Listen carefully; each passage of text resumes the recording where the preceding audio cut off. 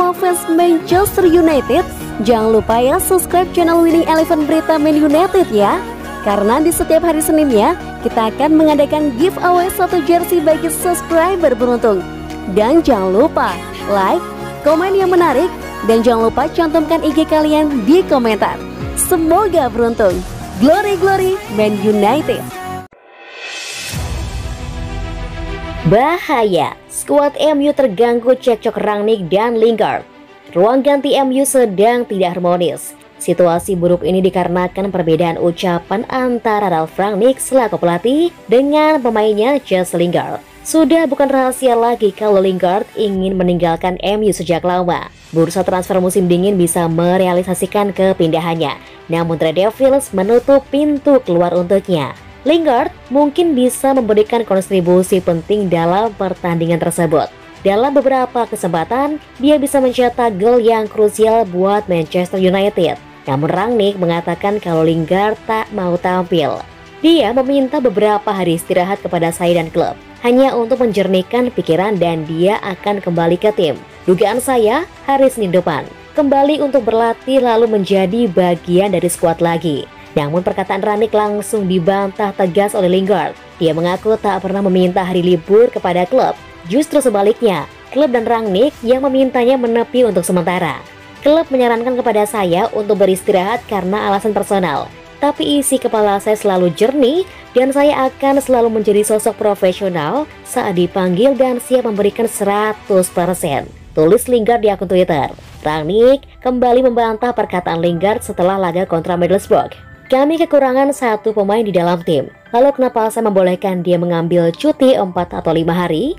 Saya ingin dia ada di dalam skuad, kata Rangnick.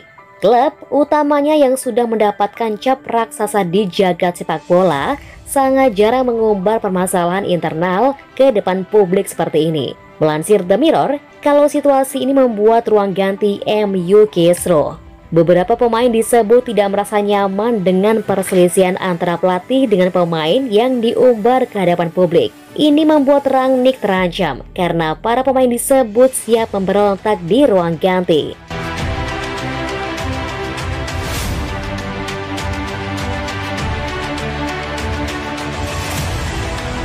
Maaf MU, Ronald Araujo tidak dijual.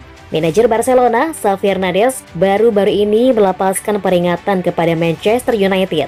Dia menegaskan bahwa back Barcelona, Ronald Araujo, tidak akan dijual di musim panas nanti.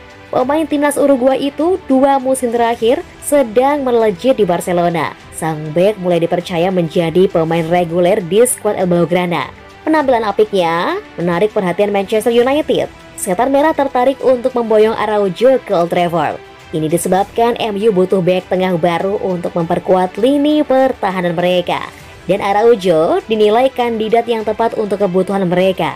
Safi tahu bahwa Manchester United sedang mengincar Araujo, namun dia tidak tertarik untuk melepaskannya. Dia menyebut bahwa Barcelona sedang mengupayakan perpanjangan kontrak Araujo agar sang back tidak berpaling ke klub lain.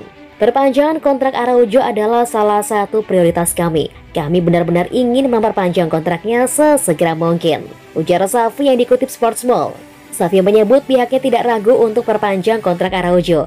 Dia menilai sang back adalah pemain yang krusial bagi timnya. Dia menyebut sang back punya kontribusi yang besar di timnya, jadi dia ogah berpisah dengannya.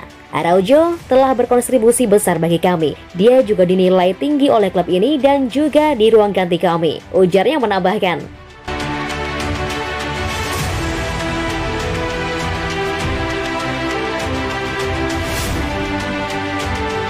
Perusahaan blockchain sponsori MU senilai ratusan miliar.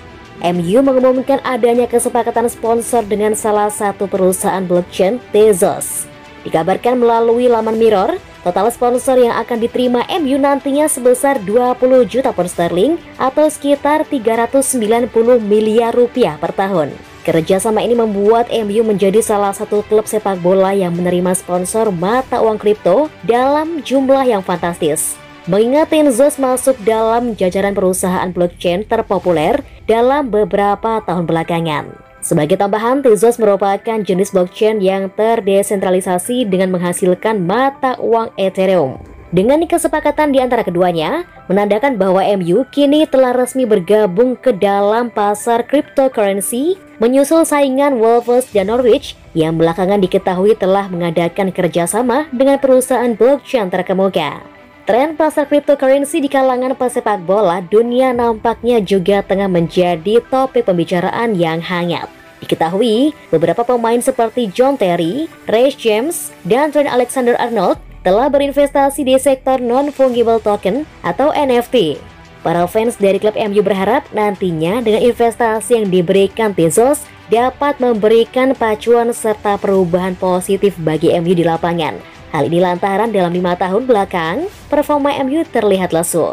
Meski performa MU nampak tak begitu maksimal, namun tercatat MU berhasil mendapatkan 446 juta pound sterling atau 8,7 triliun rupiah di sepanjang musim lalu.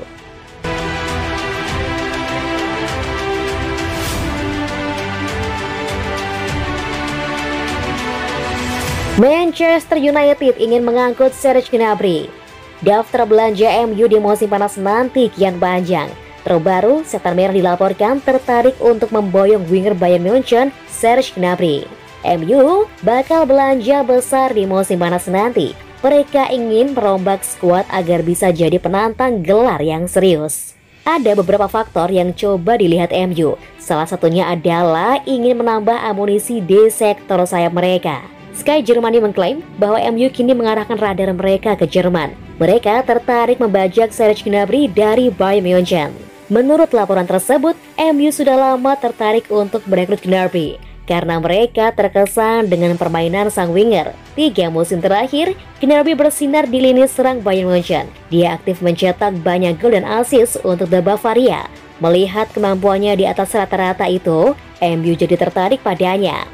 Kans MU untuk merekrut Gnabry cukup terbuka lebar karena sang winger mungkin cabut di musim panas nanti. Kontrak Gnabry di Bayern Munchen akan habis di tahun 2023. Sejauh ini negosiasi kontrak barunya dengan Di Rotten masih buntu. Jadi jika MU berani berikan gaji yang besar kepada sang winger, dia akan antusias untuk pindah ke Old Trafford. Musim ini Gnabry masih tokcer bersama Bayern. Dia turun total 27 pertandingan di Rotten sejauh ini. Dari 27 penampilan itu, sang winger berhasil mengemas 12 gol dan 7 assist bagi The Bavaria.